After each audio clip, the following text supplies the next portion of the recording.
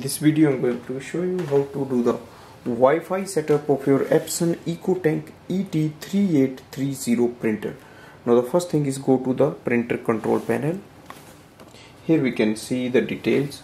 Now press the home button. Scroll ahead and look for the settings and click OK.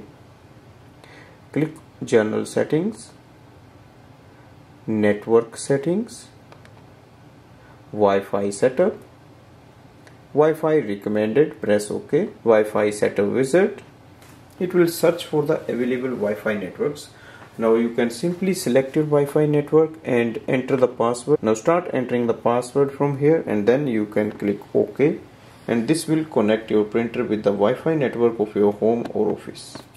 For example I'm going to use it in my iPhone. So go to the Epson iPrint app. You can download this app from the app store on the top you will see there is a line here. Displays the printer name select it and then click on the home button here.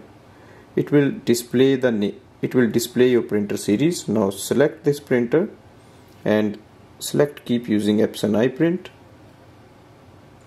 Instantly it will add up the printer and then we are ready to use it for wireless printing and scanning.